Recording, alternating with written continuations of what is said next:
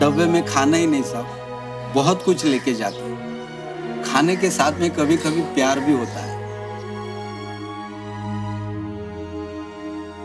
आता तुम्हाला एका नवरा बायकोची गोष्ट सांगतो बघा। एक नवरा बायकोत लय झगडा झाला होता। घर से निकल गए एकदम गुस्सा होके। बायको बिचारी परेशान हो गई। त्या दिवशी आम्ही डबा आणायला घरी गेलो। तिनं आमच्या हातात डबा दिला। डबा दिला आणि त्याबरोबर ती एकदम म्हणजे वेगळाच मूड होता तिचा। ला असो आपल्याला काय करायचं? आपला आपला डबा द्यायचं. काम कर.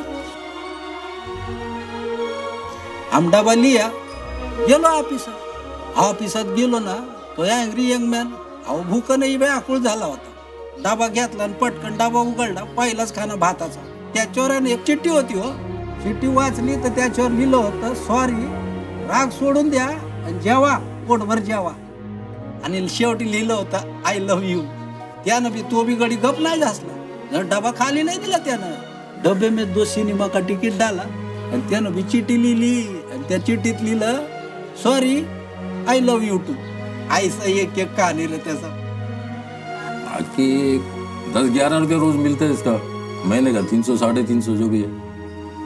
अब चाहे बारिश हो या फ्लड हो तो भी हम लोग किसी भी तरह से डब्बा पहुँचा लेते हमारे ऊपर बहुत विश्वास इन लोगों का बहुत ट्रस्ट अभी मैं आपको एक भाव का बात बताता हूँ। सैलरी का दिन में ना उसको बहुत टेंशन रहता है। वो बहुत डरता है सैलरी ट्रेन से लेके जाने के लिए। वो जेब का तरह लोग रहते हैं ना, वो जेब काटेंगे बोल के डरता है।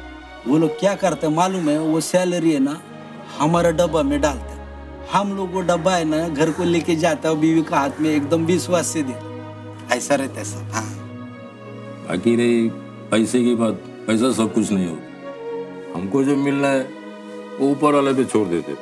वो जो देगा वो देगा।